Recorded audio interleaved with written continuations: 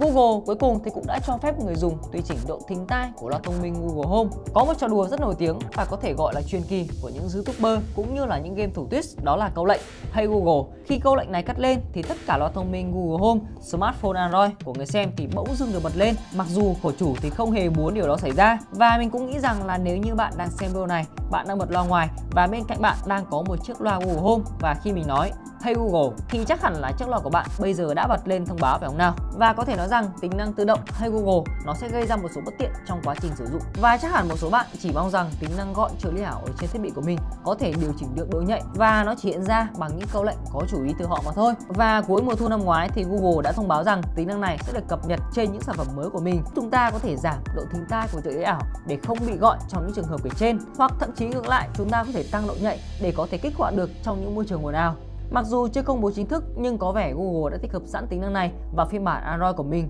Vừa mới đây thì một người dùng mang tên là Mr. Rahman tại trang là XDA đã có thể kích hoạt nó bằng tay và sau đó thì đã chia sẻ kết quả với tất cả mọi người.